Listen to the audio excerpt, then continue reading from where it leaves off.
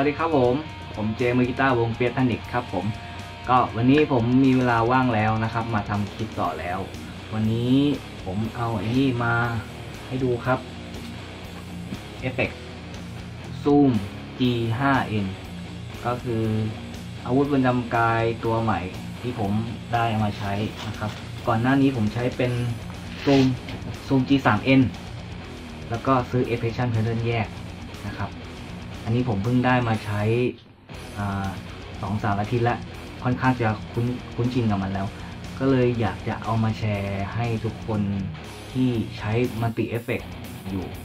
มาให้ดูกันว่า เราใช้การยังไงบ้างนะครับ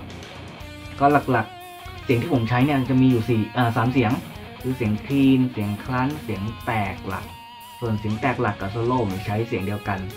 แล้วผมค่อยเพิ่ม delay กับเพิ่ม boost level ขึ้นเอานะครับ แต่วันนี้ผมจะมาแนะนำเสียงเสียงแตกก่อนนะครับ ซึ่งปัญหาที่ทุกคนนักดนตรีทุกคนต้องเจอคือร้านไม่มีตู้ amp เสียบกับ mix set ยังไงให้มันไม่บี้หนึ่งละเซตยังไงให้มันไม่อั้นนะครับ ก็เดี๋ยวมาลองดูแล้วกัน อ่าคราวนี้อุปกรณ์ที่ใช้ก็คือเป็นกีตาร์ตัวนี้นะครับที่ผมจะใช้ เป็นกีตาร์ดีนเกียสาย ตัวนี้ผมจะใช้ใช้ทุกงานเลยใช้เล่นกลางคืนด้วย ใช้งานเดี่ยวด้วยแล้วก็ใช้เปียพนิกด้วยนะครับ ส่วนไอตัวหลังนี้เจสายนี่ผมจะใช้ดอกดอกต่ำกว่าปกติ อันนี้ดอกเป็นดอก F sharp นะครับ ใช้ใช้เล่นเพลงส่วนตัวบางเพลงนะครับ ก็ไอตัวเนี้ยผมใช้เล่นคืนด้วยเพราะว่าผมอยากให้ นิ้วผมเนี่ยมันคุ้นชินกับเจ็ดสายอยู่ประจำเพราะนิ้วผมเล็กอยู่แล้วด้วย แล้วบางเพลงที่ผมต้องการย่านโลเนี่ยอย่างเช่นคอร์ดดีเนี่ย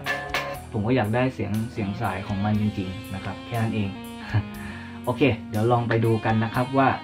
ทำไงว่าเจอมิกแล้วไม่ดีครับไปอะครับผมก็เดี๋ยวผมจะมาลองทำให้ดูแล้วกันนะครับว่าเสียงแตกที่ผมใช้เนี่ย มันใส่ยังไงปรับยังไงบ้างนะครับ จะทำให้ดูคร่าวๆนะครับ เอาเป็นแนวทางแล้วกัน แล้วก็ไปลองปรับตามความชอบดูนะครับอะอันนี้หน้าตาวิธีการใช้งานของผมเนี่ย ผมจะตั้งให้มันอยู่ข้างหน้าเป็น preset ในโหมด memory นะครับ ก็คือแบบนี้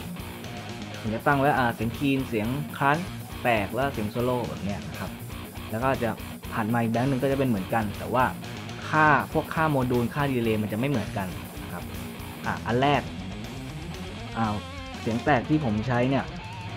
ผมจะเข้ามาที่โหมด stompตั้งค่านะครับ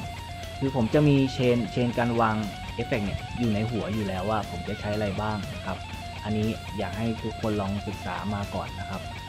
ซึ่งอันแรกก้อนแรกที่ผมจะใช้เลยคือ อันนี้ครับ SN อ่า ZNR ก็คือ noise gate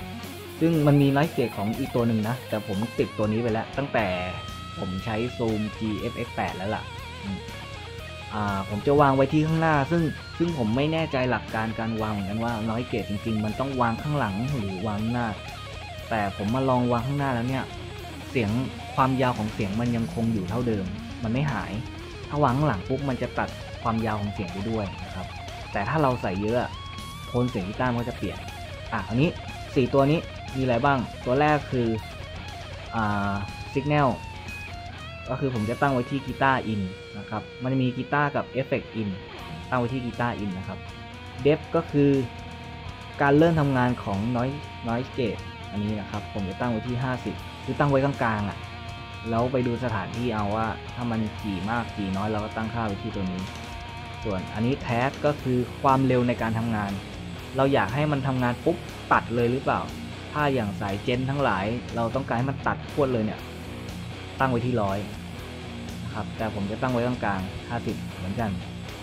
เพราะว่าโดยส่วนใหญ่ผมจะไม่ค่อยได้ใช้ noise gate เท่าไหร่ครับ เพราะมันเขารู้สึกเหมือนว่ามันมันเปลี่ยนโทนเสียงกีตาร์ด้วยอะถ้าเปิดเยอะ ส่วน DK คือการคลายเสียง การคลายเสียงของ noise gate พอมันตัดแล้วเราอยากให้มันคลายมากคลายน้อยคลายเร็วหรือคลายช้า ตั้งไว้ที่นี้แต่ผมตั้งไว้ที่ศูนย์นะครับ อะอันนี้ผมจะเปิดไว้ที่ประมาณนี้พอ เดฟประมาณ 40พอไม่ต้องเยอะมาก ต่อมา อันต่อมาก็คือ overdrive ผมจะใช้เป็นตัว boost gain โอร์ไดที่ผมใช้จะเป็นอ่า PS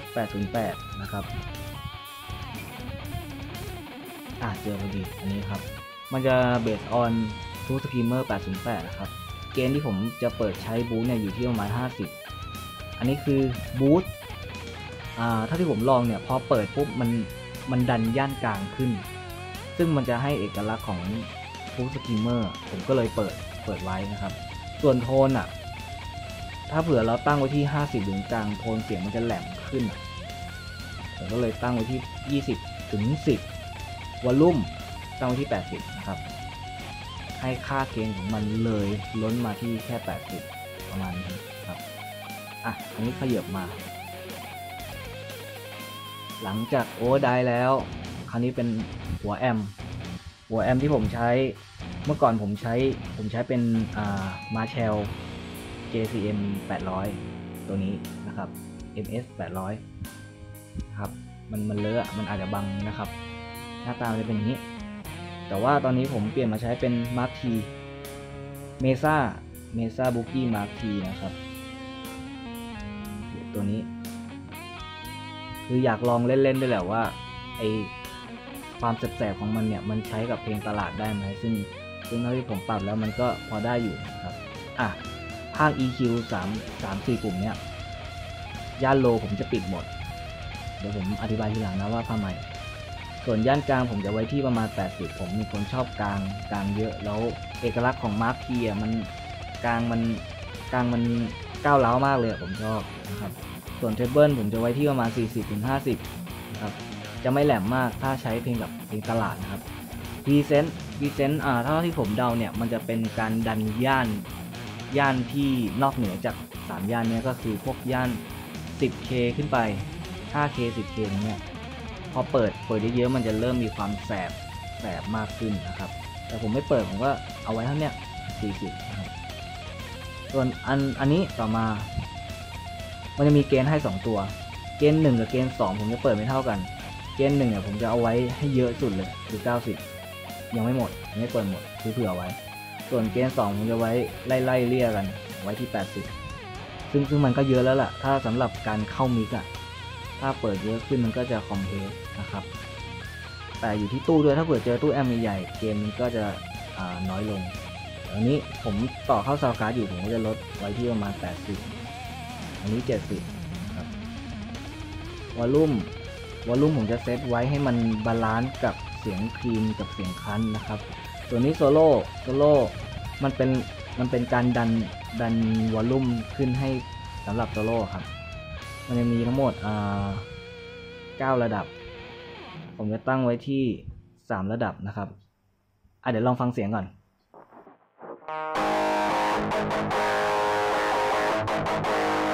บี้นะครับ บี้อยู่ยัง บี้อยู่ ถ้าเผื่อเรากดอันนี้ปุ๊บ มันก็จะดันเลเวลขึ้นเพื่อเอาไว้โซโล่อะมันจะดังขึ้นนะครับมันก็ปิดเอาไว้ใช้สำหรับโซโล่อะคราวนี้มันยังบี้อยู่เราทำไง เราใส่ cabinet ไปด้วยครับ คือจำลองให้มันเหมือนมีตู้ amp ให้ครบอะครับ มีแค่หัวแล้วเราไปไปเสียบเข้า mix มันไม่มีตัว speakerหรือ speaker sim อะไรพวกเนี้ย เราใส่ cabinet เข้าไป cabinet ที่ผมลองมาทั้งหมดเนี่ยถ้าเผื่อเป็นเพลงตลาดนะ ใช้กับเพลงตลาดทำงานทั่วไปผมจะใช้เป็น Bogner 4คูณ12 นะครับอะตัวนี้ครับ Bogner ซึ่งมันจะให้ความใหญ่แล้วก็นุ่มนวลด้วยนะครับอะคราวนี้หน้าตาของ cabinet มันจะมีอยู่ 4 อัน อันนี้คือปิดเปิดไมค์ถ้าเราปิดมันก็เหมือนว่าเราใช้แคปแล้วต่อต่อเข้าตรง ซึ่งมันก็จะได้เสียงประมาณนี้ มันก็ยังใกล้เคียงแบบเมื่อกี้อยู่ มันก็ยังมีความบี้อยู่นะครับ แล้วก็เปิดใช้ซะอันที่ 2 เป็นประเภทของไมค์ครับ ด้านซ้ายเป็น 57 ด้านขวาเป็น 421 ซึ่งมันจำลองไมค์ Shure SM57 กับไมค์ Sennheiser 421 ถ้าเราหันไปด้านใดด้านหนึ่งก็คือเราเลือกใช้ไมค์ตัวนั้น แต่ถ้าเราตั้งไว้ที่กลางคือเราใช้ไมค์สองตัวนี้ผสมกันนะครับ อะคราวนี้ลองฟังดู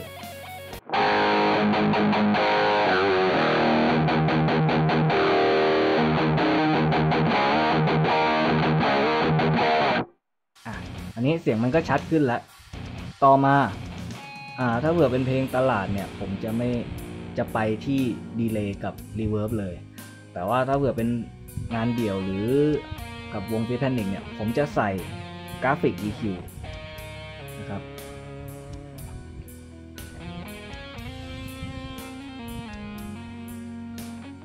อ่าผมกราฟิก EQ ผมใช้ตัวนี้ ใช้เพื่ออะไรใช้เพื่อ อ่า เดี๋ยวผมย้อนให้ดู อันนี้นะครับ ผมปิดโหลดตรงนี้ แล้วผมใส่กราฟิก EQ เดี๋ยวขอขยับ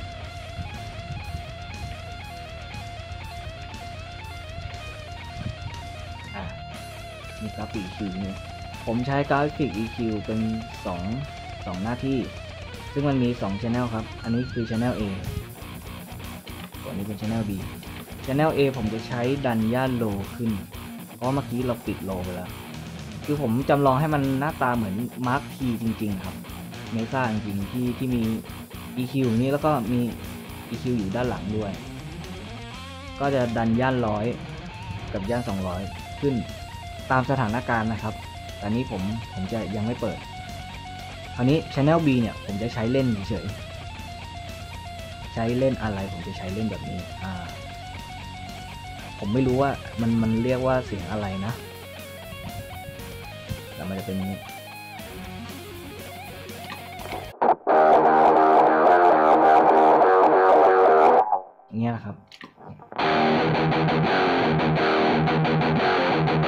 พอใช้ปุ๊บ เนี่ยผมเอาไว้ใช้เล่นเฉยๆประมาณนี้นะครับ อะ อันนี้ ข้ามมาอันต่อไปก็คือพวก delay กับ reverb delay ที่ผมใช้ผมจะใช้เป็น ping pong นะครับ ping pong ก็คือมันจะเด้งเด้งซ้ายเด้งขวา เมื่อเราต่อ output เป็นสเตอริโอซ้ายขวานะครับ อะอันนี้หน้าตา delay เป็นนี้ time ผมจะตั้งให้มันควบคุมโดยปุ่ม tap อันนี้นะครับ ก็คือหมุนไปให้สุดครับ แล้วจะเจอค่าโน้ต ค่าโน้ตที่ผมจะตั้งเป็นค่าโน้ตตัวดำอันนี้ feedback ผมก็ตั้งไว้ที่ 30 ส่วน mix เอ่อ feedback คือจำนวนของ delay 30 ก็คือเยอะเยอะอยู่แหละนะครับ ส่วน mix ก็คือความดังของ delay ทั้งหมด ผมจะตั้งไว้ที่ประมาณ 40ถึง30 นะครับ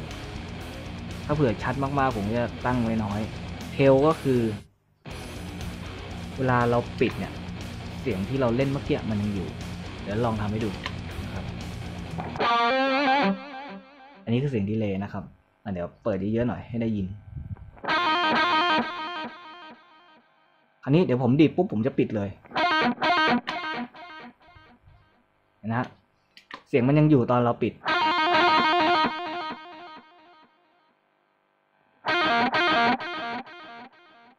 แต่ถ้าเผื่อเราเราออฟไว้ พอปิดปุ๊บดีเลย์ก็จะหายไปด้วย เห็นไหมฮะผมจะออนไว้นะครับ ประมาณนี้นะครับผมก็ ลองเอาไปใช้ดู อันนี้ pedal เนี่ย ถ้าเป็นเพด l สวิตตัวนี้ผมจะใช้เป็นวาลอ่าผมก็แอดแอดวาลไว้ที่ข้างหน้า ผมเลือกใช้เป็นแบ็กวาลแบ็กวาลคือมันจะ based on อ่า Cry Baby มา มีสี่ปุ่มเหมือนกันปุ่มแรกก็คือเป็นตัวตั้งค่าของการเข้ามาใช้ preset นี้นะครับ สมมติตั้งไว้ที่ 50เนี่ยก็หมายความว่าอ่าระดับวาลมันจะอ้าไว้ที่กลางๆ เวลาเราเข้ามาพรีเซตของวาลเนี่ยระดับวาลก็จะอยู่ที่กลางๆ อันนี้นะครับ ต่อมาคือเลนส์เลนส์คือความความอ้าการเปิดการปิดเปิดของวาล ผมจะตั้งไว้ที่ประมาณ 30-20 นะครับ อันนี้ส่วนรายเนี่ยผมจะตั้งไว้ศูนย์แล้วก็ volume ไว้เท่าเดิม 80 ครับ มันก็จะ balance พอดีกับเสียงเสียงแตกธรรมดาไปอ่าคราวนี้ผมก็จะ off ไว้ แล้วก็ออกมาอยู่ที่หน้า preset เนี่ย เวลาจะใช้งานคือผมใช้เท้าจิกจิกที่ pedal แทน ไฟมันก็จะขึ้น นะครับ แล้วก็เปิดวาล์ว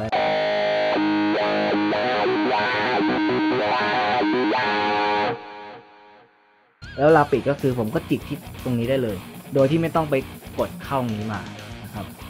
อะ คราวนี้เพิ่มเติมอีกนิดนึง ในเรื่องของ expression pedal ตอนนี้ผมต่อ expression pedal อยู่ ตัวนี้ตัวนี้ครับอะอันนี้ต่อต่อไว้อยู่ การใช้งานของมันก็คือ เราต้องเปิดใช้อ่า hidden switch ของมันก่อนครับ ส่วนเราจะใช้ไอ expression เนี่ยตั้งค่าเป็นอะไร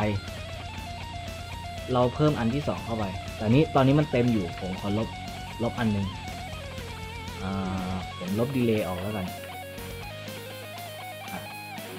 นี่ผมจะเพิ่ม สมมติว่าผมจะตั้งไอ expression ให้มันเป็น volume นะครับ คือวอลลุ่มอันนี้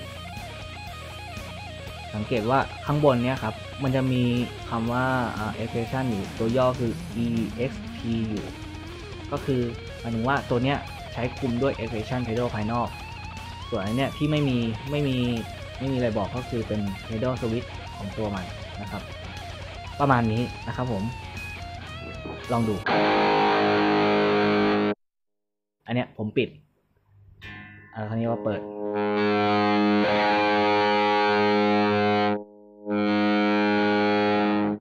ประมาณนี้นะครับผมลองเอาไปใช้เป็นแนวทางดูครับ ขอบคุณมากครับ